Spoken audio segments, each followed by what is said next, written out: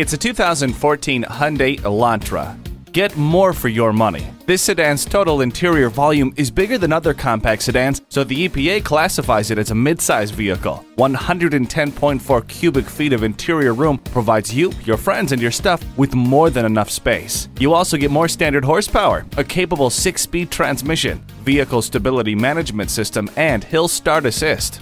Leave the scraper in the car thanks to the heated mirrors. Doors open and your path is well lit with HomeLink. Stretch out in the vehicle you've always dreamed of. This 2014 Hyundai Elantra.